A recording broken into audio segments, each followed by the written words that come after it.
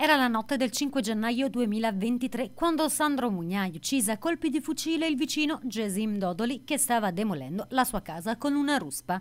Ad un anno di distanza la Procura di Arezzo non ha ancora chiuso l'inchiesta sul delitto di San Polo. Secondo il GIP Giulia Soldini che scarcerò Mugnai si trattò di legittima difesa, una condotta quindi non punibile. Spetta adesso al PM Laura Taddei chiudere l'istruttoria una volta concluse le perizie, due le strade percorribili, la richiesta di rinvio a giudizio o quella di archiviazione. Il magistrato dovrà stabilire se si è trattato di legittima difesa o se c'è stato un eccesso. Sandro Mugnaia è indagato per omicidio.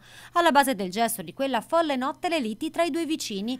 Gesim Dodoli quel 5 gennaio avrebbe prima travolto quattro auto parcheggiate di fronte al casolare, poi avrebbe iniziato a colpire con la benna della ruspa la facciata della casa, distruggendo l'ingresso e una finestra e danneggiando gravemente le mura. A quel punto i cinque colpi esplosi con un fucile da caccia da Sandro Mugnai tre proiettili centrarono l'addome, uno la spalla, non lasciando scampo a Gesim Dodoli.